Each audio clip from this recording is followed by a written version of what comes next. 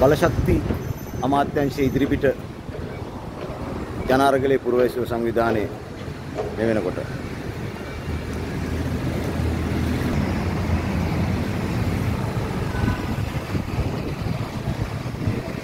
විදුලි බල අමාත්‍යංශයේ ඉදිරිපිටට පැමිණලා තියෙනවා ඔවුන්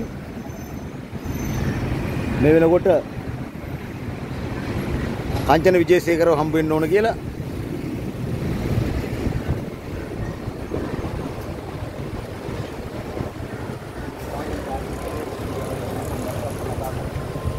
ඔබතුමා හම්බෙලා අපි අතංකත් ගියා එතන කිසිේ නෑ.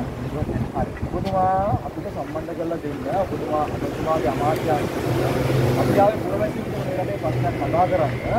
ඒ ප්‍රශ්නේ කතා කරන කවුරු අපිට මේ අදාළ ඉදිරිබල අමාත්‍යාංශ ඉදිරිපිට.